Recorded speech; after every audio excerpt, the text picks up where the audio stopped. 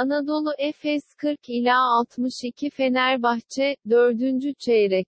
Final serisinde 4 galibiyete ulaşan takım, sezonu şampiyon tamamlayacak, serinin ilk iki maçı, ligde normal sezonu lider tamamlayan Anadolu Efes'in sahasında yapılacak. Tahincioğlu Basketbol Süper Ligi'nde Anadolu Efes ile Fenerbahçe Beko arasında Sinan Erdem Spor Salonu'nda yapılan play-off final serisi ilk maçına seyirciler yoğun ilgi gösterdi.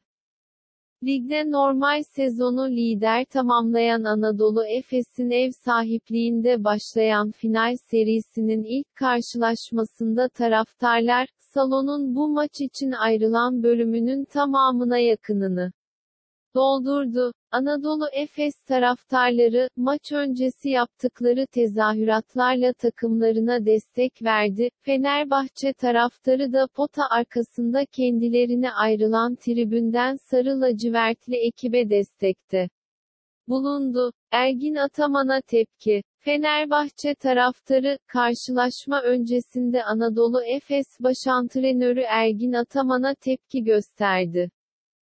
Sarı lacivertli taraftarlar, Ataman'ın aleyhine küfürlü tezahüratlarda bulundu, Anadolu Efes taraftarı ise bu tezahüratları ıslıklarla protesto etti.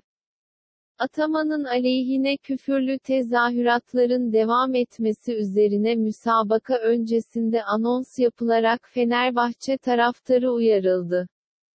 Hidayet Türkoğlu, maçı takip etti. Türkiye Basketbol Federasyonu Başkanı Hidayet Türkoğlu, Anadolu Efes Fenerbahçe Beko maçını izledi.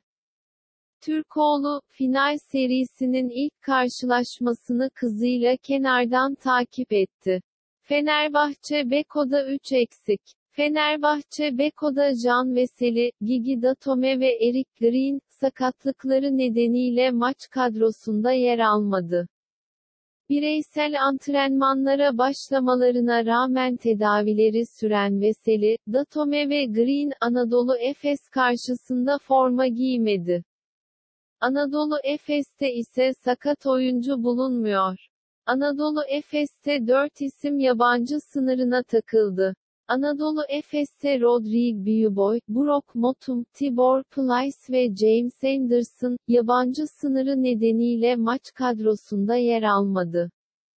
Lacivert beyazlı takımda başantrenör Ergin Ataman, ligde uygulanan 5 yabancı oyuncu kuralı kapsamında tercihini Shane Larkin, Adrian Moerman, Vasilije Mičić, Bryant Dunstan ve Kurunosav Simon'dan yana kullandı.